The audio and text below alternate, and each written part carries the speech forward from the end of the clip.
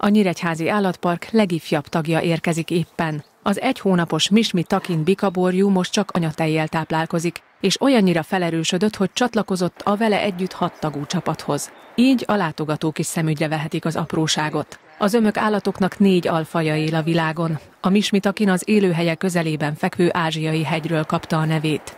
Első ránézésre bölényre vagy szarvasmarhára hasonlítanak, legközelebbi rokonaik azonban a juhok és a kecskék. A takinok veszélyeztetett állatfajnak számítanak, a természetben élő egyedszámuk ugyanis folyamatosan csökken, és az állatkertek többségében nem is látható ez a különleges faj. Nagyon fontos, hogy szaporítsuk őket, mert a természetben megritkult az állományuk, egyrészt élőhelyük csökkenése miatt, másrészt az orvadászat miatt. Az elmúlt 30 évben 25%-kal csökkent az állomány, ezért az Európai Álkertek Szövetsége fajkoordinált program segítségével segíti a fajt fennmaradni.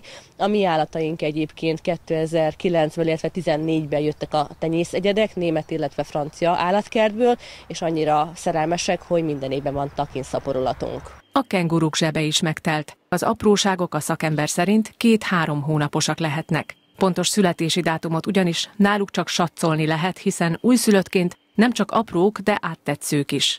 A csöpségeken kívül új lakói is vannak az állatparknak. A közelmúltban érkezett zebracápák eddig karanténban éltek, most azonban ebben a 150 köbméteres tengervizes akváriumban lubickolnak a szirti cápákkal társbérletben. Különleges a zebracápa, hiszen alapvetően egy talajlakó cápafajról van szó, és zebra csíkosa mintázata az egyedeknek. Heringet, makrélát, tintahalat fogyasztanak, és egy kis kulisszatitkok is elárulók, tréningezik őket a gondozók, tehát a különféle területekhez kézjel segítségével oda mennek az állatok. A tavasznak láthatóan a Nyíregyházi Állatpark valamennyi lakója örül. Az érzékenyebb fajok eddig úgynevezett futkoson voltak, vagyis ők dönthették el, hogy a kinti vagy a belső térben tartózkodnak. A jó idő beköszöntével azonban már a kifutókban is megfigyelhetők az állatok.